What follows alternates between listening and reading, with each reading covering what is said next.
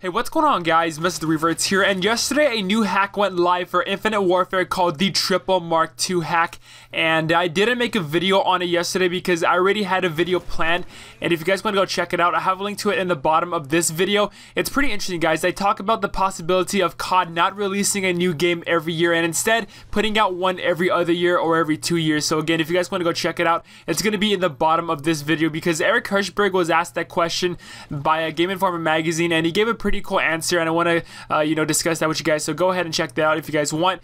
But yeah since I made that video I just wanted to blow off this new hack until I watched a couple videos and saw some posts over on r slash infinite warfare that literally compelled me to make this video for you guys because I do not want my subscribers to get swindled by this deal possibly the worst deal for infinite warfare. So with this triple mark II hack you get only three mark II weapons and uh, the funny thing is it's not dupe protected and it's gonna cost you 150 keys for the possibility of getting three duplicate weapons. And I have some gameplay and some footage of you, for you guys that show people getting this stuff in their uh, Mark II hack. So definitely, guys, you want to save the keys for the triple play bundle. Keep on grinding because it's going to be worth the extra work. It's definitely is going to be better than, you know, spending 150 keys on something that you could possibly get duplicates of. Again, this is the worst deal that I've ever seen for Infinite Warfare. Do not buy this hack at all. Also, you do have the possibility of getting commons or even even triple commons from this hack. So again, that is not worth the 150 keys at all.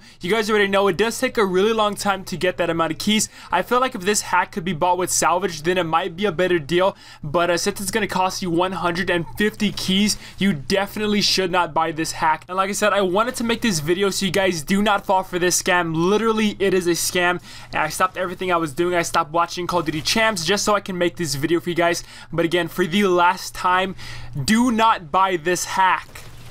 Thank you.